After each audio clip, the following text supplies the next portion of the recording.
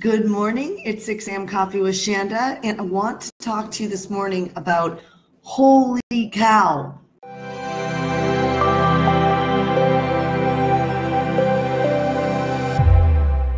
I was reading through my journal.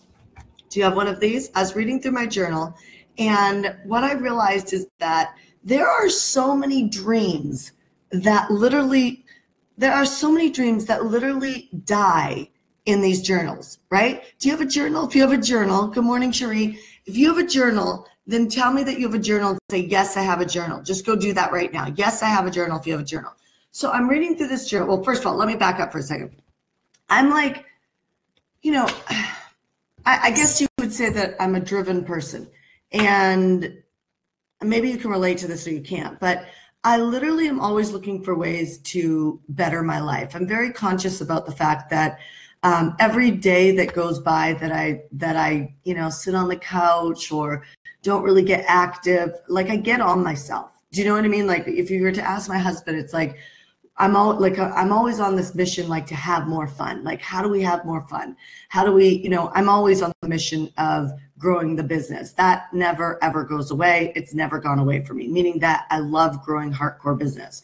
But with that being said, you know, I used to be one track mind where it was all business and it was no fun. And so years and years and years ago, I developed this muscle on having fun and creating something I call flex time. Flex time is where you take time off. So basically, I take the last week of every month and I take it off, right? And um, if there's five weeks in a month, I take two weeks off a month, right? So it works out to be about five months a year collectively, because I don't work on weekends and I don't work the month of December, it works out to be about five months or just over five months a year that I actually have off time.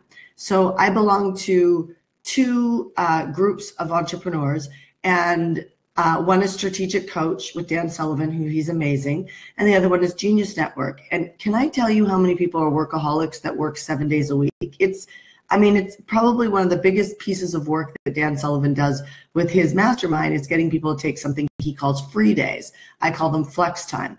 So, so anyway, so long story short, you know, it's kind of like you keep getting better. It's, it's kind of like having a baby. You have a baby and it's like, holy cow, breastfeeding feels brutal, right? And then it's like, am I ever going to make it through this stage where I'm going to start to like breastfeeding?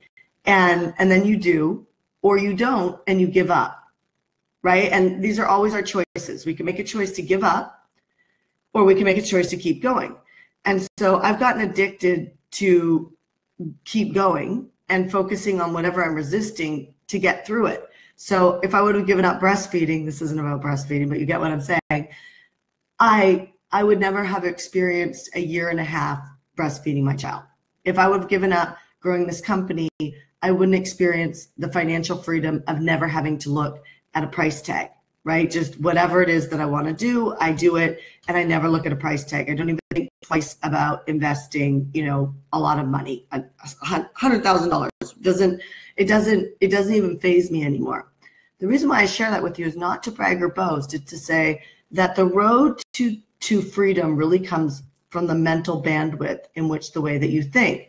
You know, I would even go as far as to say that it comes from your faith. It comes from if you believe that you are responsible for everything, then you're going to be stressed out and worried. But if you believe that there's a higher calling, there's a higher power, there's God, then you're going to start to air into letting go of some of the emotional triggers that you have that prevent you from stepping forward. So it's like this we pray, we pray, we pray. Or maybe you meditate, meditate, meditate.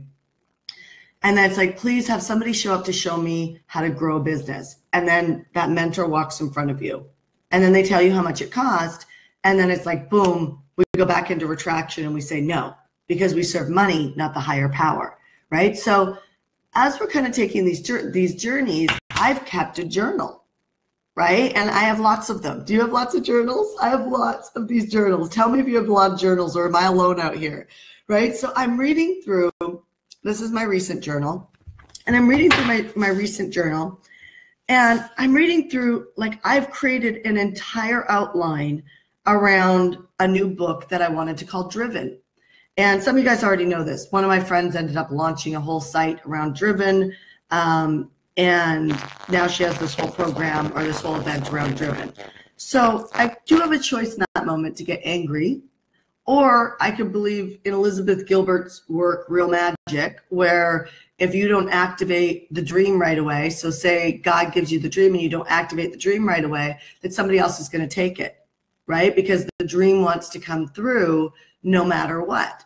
And so often we feel like we have to not maybe not you, but I do know that people feel like they have to hide their dreams and not talk about them so that they don't get taken away. Well, I shared my dream with my friend and she ended up thinking it was her idea when she woke up one morning, you know, 3 months later and created this whole event around it. I have no energy on that. Like I have no energy on that.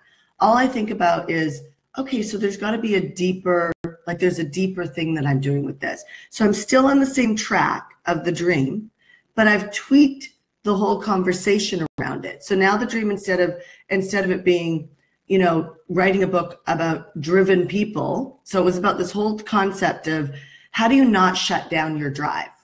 Right? Like how do you not feel guilty being a wife, um, a husband, a um, you know, uh, a, a parent, like, how do you not feel guilty and still go after what you want? Right? Like, like, like how do you how do you keep expanding? Like you have a life too and if you limit your life then your kids will limit their life.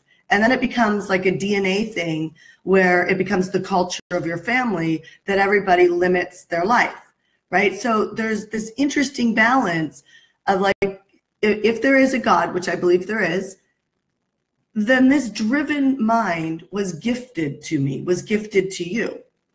And so, how do you not human side shut it down and access the full unlimited list of what's possible for you? So, that's kind of where I've been for the last few years. And so, I thought, oh my gosh, I can interview Sara Blakely. I called her. She said, I'm happy to do something in the book. Um, you know, I thought, like, then I started running into you know, psychologists. And then, of course, now I ran into a psychologist that wrote the book Driven.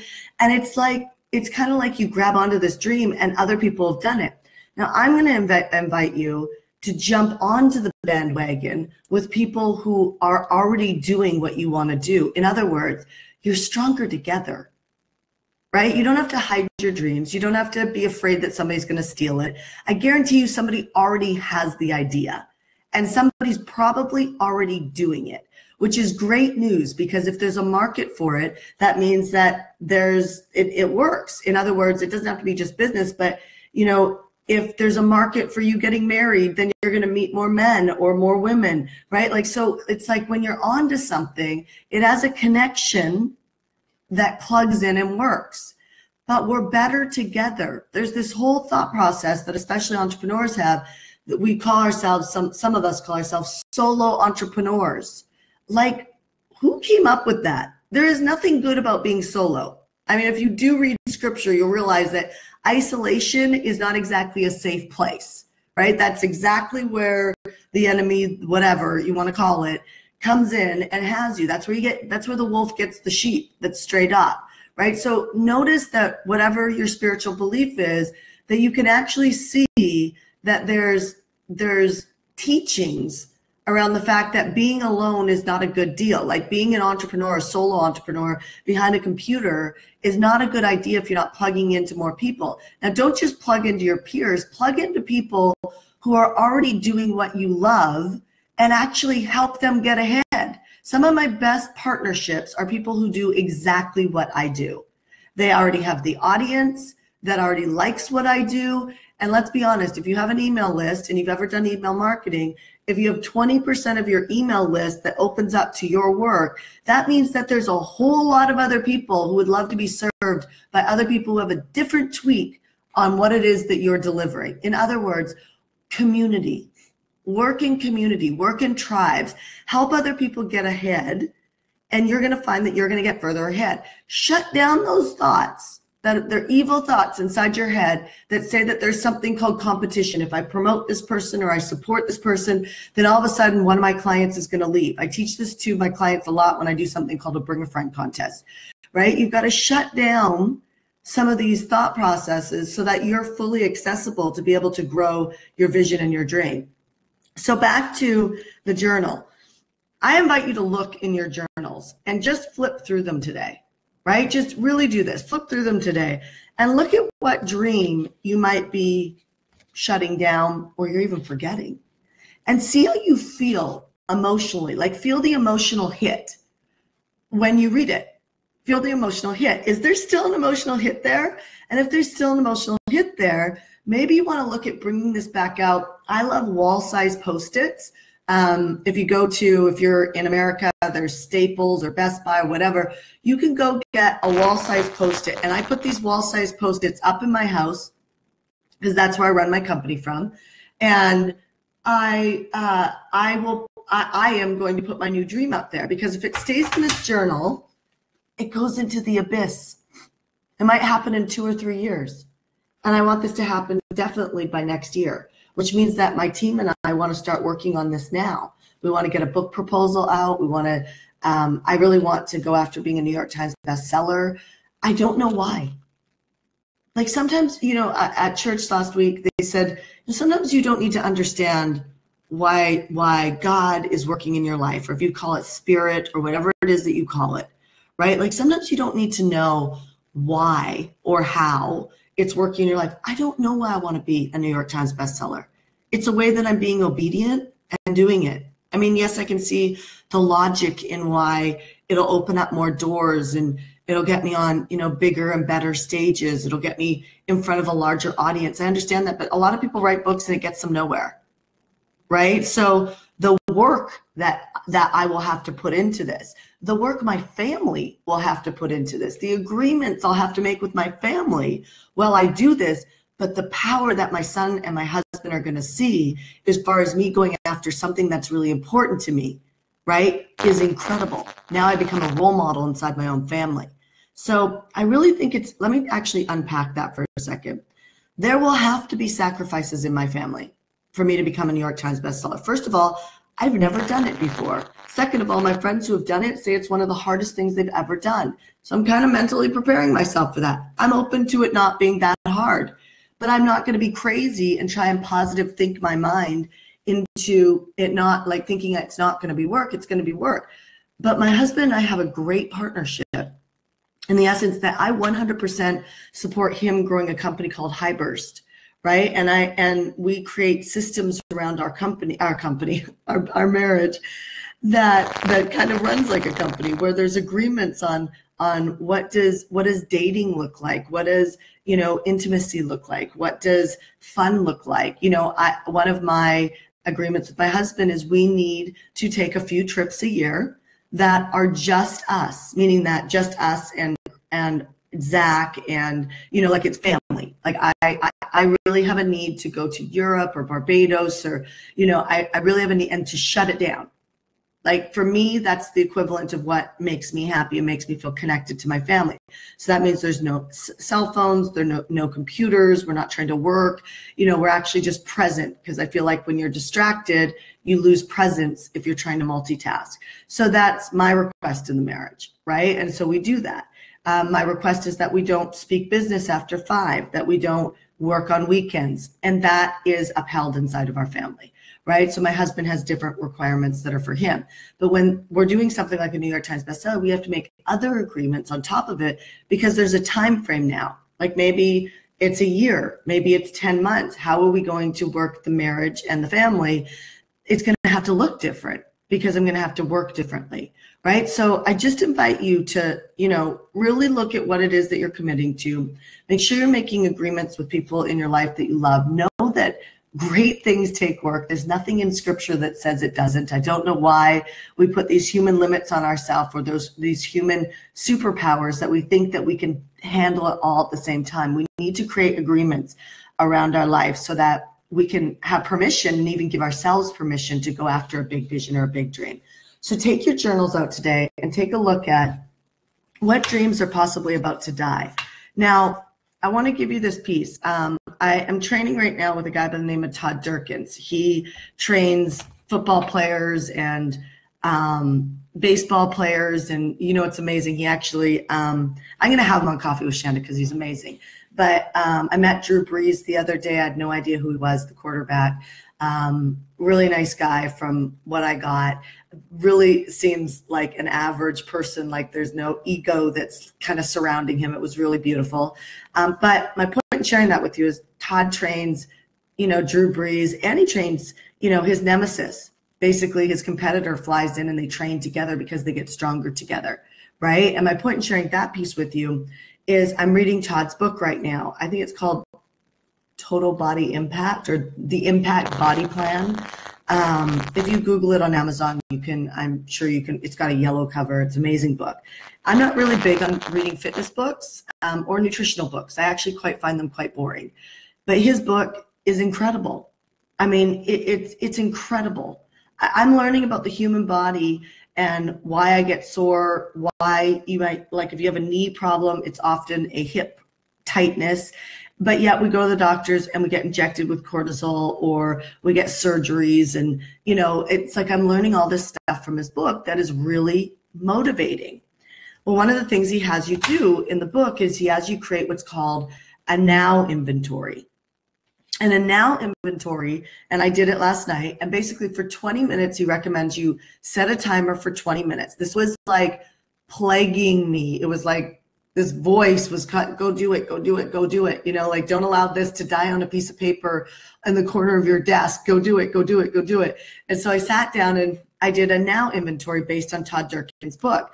And basically you set a timer for 20 minutes and you write for 20 minutes. Is this helping? If this is helping just say yes this is helping. If you like this let me know. Um, and so you write for 20 minutes on like taking inventory on where your life is at now and I actually surprised myself. Here's something I wouldn't want anybody to know about myself that I'm going to tell you. And and the reason why I'm going to tell you is because it's vulnerable. And vulnerability actually creates connection. So what I'm doing right now is I'm pulling the curtains back to what I'm doing as a, business owner, an online personality, um, a marketer. I don't like to do things to you. I like to tell you why I'm doing things. I like to teach while I'm doing it. So um, you know, the first beginning of my list was negative. I'm embarrassed to say that. I mean, I was like really critical. And and then it went from being really critical to me being aware of how critical I was being. And I was being critical about people in my life. Right? And and critical about my situation and critical and then I'm like, holy cow, this is an awareness moment. Right? Like what an awareness moment. And then it shifted into gratitude. And I have a ton of things to be grateful for. I think you could probably look in your own life and realize you have a ton of things to be grateful for. And recently, I've had some negative people that I've been reading some of their stuff, and it's so quick that those things start to get inside your head. Plus, I have a situation where someone in my family is very, very sick and they're really grumpy and they have a lot to be happy about. Like I pick up all their bills. Do you know what I mean? Like they have no worries. And you know, I think, gosh, I would be grateful if I was that sick and and somebody was taking care of me, right? At least they don't have to worry about like any of their bills. And I'm grateful that I can do that. And I'm grateful that I have a heart to do that. But it's like it's I share this with you because first of all, it's important to share vulnerable real moments when you're out there doing your marketing and sharing things and and just being a real person across these internet, you know, these these videos, these cameras, right? But secondly, it's like do the inventory list, the now list, and do an inventory list of where your life's at and notice right Todd says write for 20 minutes and don't stop. And just notice what just don't edit it. Like don't try and be positive, don't try and be negative, don't try and be critical, don't try and be anything, just be you and just go, just brainstorm. And it was absolutely powerful, this process. And then he had you shift and write, I don't even know if I'm saying this word right. I think it's called a decree. Basically, I, it's a vision. And he said, right now, look at that list and write what you'll look like, what you'll feel like in 10 weeks from now, which his program is 10 weeks, right? And so, right. And so I wrote you know, what my life was going to look like in 10 weeks from now. Not just my fitness, not just, you know, the way I feel, but, you know, even the way I eat. like like packing my like I'm Nathan, our chef, is packing my food in portion control, like glass Tupperware um, containers, and it's so easy for me to grab them from the fridge and eat them on a daily basis. And I've got my own cooler that I take with me to events that I have my food in, and I eat from there. Right? I just saw my friend Bedros, who is in incredible shape right now, and he's like packing his food right in portion control pieces, and I'm like going like successfully clues, right? So I'm writing, I take my now list and I'm writing now my vision of what it looks like in 10 weeks from now. And my relationships in there, my mommyhood's in there, a vacation is in there that we're booking right now. Um, and it was powerful. And then he recommends you take that and you put it on an index card. So I share all this with you because, you know, there's a kind of a lot in this coffee with Shanda, but I would recommend that you don't just listen to this and think it's a great idea and allow a vision or a dream to die in a journal or allow these notes to be scribbled on a piece of paper in the corner of your desk or your house. I recommend that you you actually do these things. Pull out your journal. Here's the summary. Pull out your journal. Start reading through it. Is there a dream in it that gives you an emotional hit? And if it is, why don't you take it out and put it on a wall size post it? And just look at it daily and see is it calling you? And if it is, then create agreements around your life to be able to create that. Because I believe that that's God. And I believe that we limit what's possible in our life because of our families, because of our friendships, because of the people around us, because of our preconceived ideas about what makes us a good human being, right? In the unit of our life. Then shift and do the now, do the now inventory list. Take inventory of where your life's at now. Write that for 20 minutes and then move that into a vision where what does it look like in 10 weeks from now? Or what does it look like in two months from now? What does your life look like if you're operating from that standpoint? We and i'll end on this. We far too often operate our lives based on reacting reacting to our businesses reacting to the next event we're going to you know it's very easy to be in the rat race even if you are financially free because the world is always calling on a demand on you.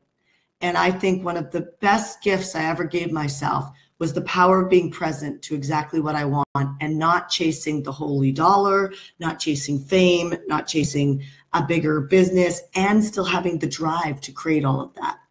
So here's my gift to you. I hope that Coffee with Shanda was successful for you. I hope that it makes an impact on you. If it does, I would love to hear your takeaway. I would love you to share this. You know that I look at the shares. That way I know that you actually enjoyed this coffee with Shanda. All right, you guys, I will see you tomorrow morning, 6 a.m. Pacific, 9 a.m. Eastern on Coffee with Shanda. Talk to you soon. Bye.